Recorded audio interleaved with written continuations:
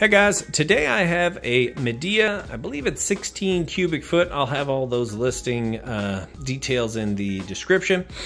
But um, anyway, we've got this one. It's actually my personal freezer. It has been stocked full of uh, frozen breast milk for the last year and a half. Finally worked through it all, just don't need it anymore. It's the only reason we're selling it. This model here is actually really cool because it can be used as a freezer like we've got it set up here. You could also set it and use it as a refrigerator. Let's see if I can get that to... So you've got a freezer or fridge option. You switch this over to fridge and then you'd set it somewhere in the 38 mark.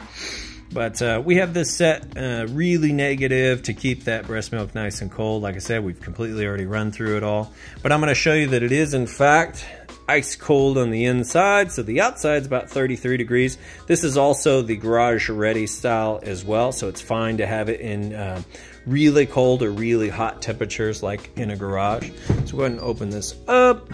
Let's see, we're gonna hit that right at about 20, 30 degrees. This actually won't even go down to negative 11.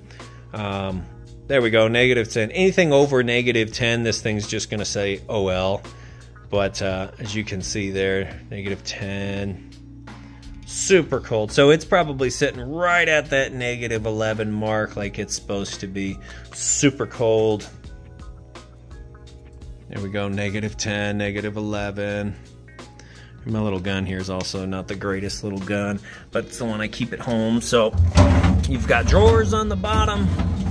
You can adjust these metal shelves here and move them around and uh, tons of space, tons of space. This thing worked out great for putting crates in here with the milk stacked up in it.